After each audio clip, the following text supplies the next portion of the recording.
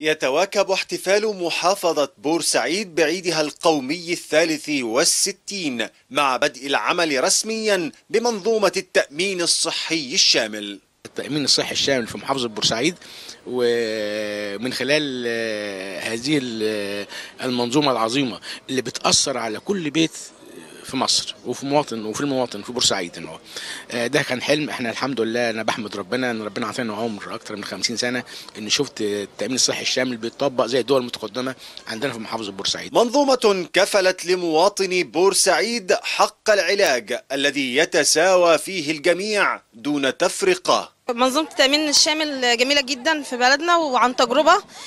عندي ابن أخويا عمل عملية ثلاث عمليات في بعض في عينيه على نفقة الدولة. صغير عنده أربع سنين وعندي أخويا كمان عمل عملية قسطرة ودعامة في في المستشفى اللي هي مستشفى النصر بعد التطوير.